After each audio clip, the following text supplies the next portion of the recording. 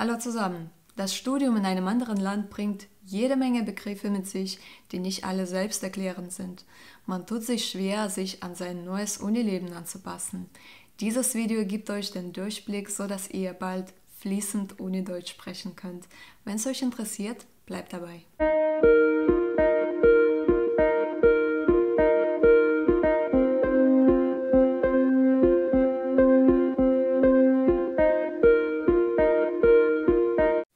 Als ich den Test auf bestanden habe, war ich fest davon überzeugt, dass ich gut auf mein Studium vorbereitet bin. Nun saß ich zum ersten Mal in einem großen Hörsaal mit 120 Studenten und da war Land unter. In meiner ersten Mathe-Vorlesung habe ich zwar gewusst, was Plus und Minus bedeutet, aber das hat mir nicht richtig weitergeholfen, weil mein Professor, um die Gleichung zu erklären, die Wörter addieren und subtrahieren benutzt hat. Und die wusste ich nicht. Addieren kommt von Addition. 2 plus 2 gleich 4 ist ein Beispiel der Addition. Subtrahieren bedeutet von einer Zahl eine andere abziehen. 6 minus 4 gleich 2 ist ein Beispiel für Subtraktion. Was ich damit sagen möchte, die Uni-Welt genauso wie Unisprache unterscheiden sich stark vom Alltag. Ich habe mir überlegt, ein Glossar aus wichtigen Uni-Begriffen zusammenzustellen, so dass du dich ganz schnell im Kosmos Uni integrierst. Aber nicht nur deswegen, so ein Glossar gibt eine gute Möglichkeit, besser diejenigen zu verstehen, die studieren oder einen wissenschaftlichen Hintergrund haben. Wenn ihr noch mehr Videos zum Thema Studium in Deutschland sehen möchtet, verlinke ich die alle, die es bis jetzt gibt, in der Beschreibung unter diesem Video. Und jetzt zum Wortschatz. Wenn ihr soweit seid, dann los geht's. Das erste Wort ist Kommilitonen. Kommilitonen ist die Pluralform von Kommilitone und bedeutet Studienkollegschaft oder Mitstudierende. Der Begriff fasst alle Studenten zusammen, die in irgendeiner Form durch das Studium miteinander verbunden sind. Ein Beispiel, wie ihr das Wort einbringen könnt, meine Kommilitonen veranstalten auf dem Campus ein Sommerfest. Audimax. Audimax ist die Kurzform des Auditorium Maximum und wie der Name schon sagt, ist es der größte und meist repräsentativste Hörsaal einer Universität. Hier können die meisten Studierenden Platz nehmen. Im Audimax werden die Großveranstaltungen abgehalten, weil hier mehrere hundert Personen Platz haben können. Auslandssemester ist ein sehr wichtiger Begriff. Das ist das Semester, das man an einer Hochschule oder Universität im Ausland verbringt. Die dort absolvierten Vorlesungen und Seminare werden dir zumindest größtenteils für dein Studium angerechnet. Auslandssemester ist eine gute Möglichkeit, sich fachbezogen weiterzuentwickeln, neue Kontakte zu knüpfen, aber auch ganz viele Erfahrungen zu sammeln. Auswahlverfahren ist ebenso kein unwichtiger Begriff, denn mit Hilfe des Auswahlverfahrens entscheiden die Universitäten, wer für einen Studiengang zugelassen wird. Ist ein Studiengang nicht zulassungsbeschränkt, werden alle Bewerber angenommen und das Auswahlverfahren entfällt. Wenn ein Studiengang doch zulassungsbeschränkt ist, müssen erst spezifische Kriterien erfüllt werden. Ich musste zum Beispiel für mein Masterstudium den Notendurchschnitt nicht schlechter als 2,0 haben, um angenommen zu werden. Hätte ich eine schlechtere Note gehabt, wäre ich nicht zum Masterstudium zugelassen worden. Wenn nach dem Auswahlverfahren noch freie Plätze zu vergeben sind, folgt ein sogenanntes Nachrückverfahren. Der nächste Begriff ist BIP. BIP steht für Bibliothek. Die Bib ist während des Studiums euer zweites Zuhause. Hier findet ihr alle wichtigsten Bücher und einen gut ausgestatteten Platz zum Lernen.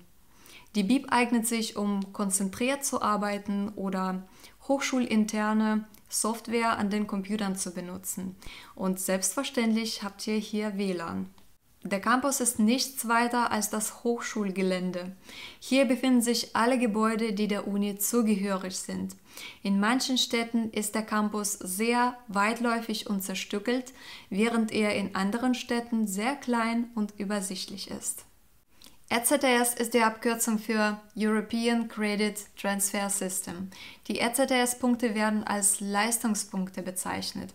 Mit Hilfe der ECTS-Punkte kann man ungefähr einschätzen, wie groß die Arbeitslast ist, welchen zeitlichen Aufwand man einbringen muss.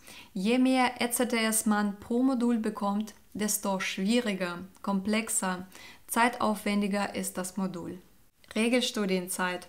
Die Regelstudienzeit ist die planmäßige Semesterzahl, die zum Absolvieren eines Studienganges vorgesehen ist.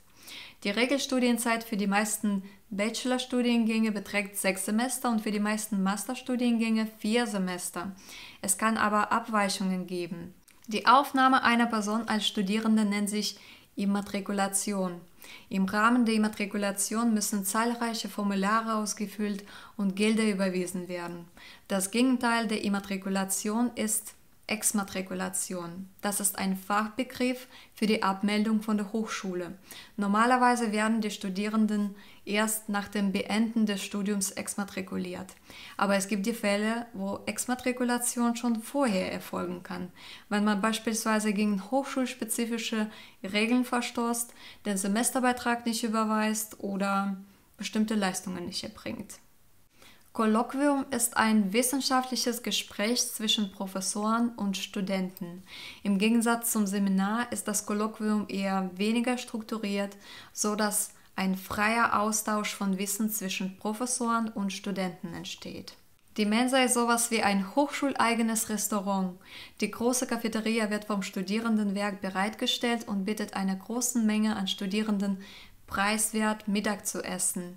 In der Mensa zu essen hat übrigens nicht nur etwas mit der Nahrungsaufnahme, sondern auch mit sozialen Kontakten zu tun. Ein Modul ist eine Art Studienbaustein, also ein Oberthema im Studium, das durch mehrere Vorlesungen oder Seminare abgedeckt wird. Ein Modul dauert normalerweise ein oder zwei Semester und schließt mit einer Prüfungsleistung ab. Vorlesung ist der Klassiker unter Lehrveranstaltungen. Bei einer Vorlesung steht ein Professor vor den Studierenden und doziert. Im Gegensatz dazu arbeiten die Studierenden bei einem Seminar viel aktiver und der Wissensaustausch ist eher weniger einseitig. Studierendenausweis ist eine Eintrittskarte ins Studentenleben. Damit kannst du dich überall als Student ausweisen. Natürlich bekommst du automatisch mit dem Studierendenausweis sehr viele Rabatte und Begünstigungen. Das war's. Ich würde mich sehr interessieren, ob einige Wörter für euch neu waren. Schreibt mir bitte unten in die Kommentare. Ansonsten, wir sehen uns. Macht's gut. Bye. Hallo zusammen. Den Ginge beträgt sechs Semester und für die meisten zum Absolvieren eines Studiengangs vorgesehen ist. Hochschuleigenes Restaurant. Die große Cafeteria wird vom Studierendenwerk, denn mit Hilfe des Auswahlverfahrens entscheiden sich zulassungsbeschränkt werden alle Bewerber angenommen. Und das ähm,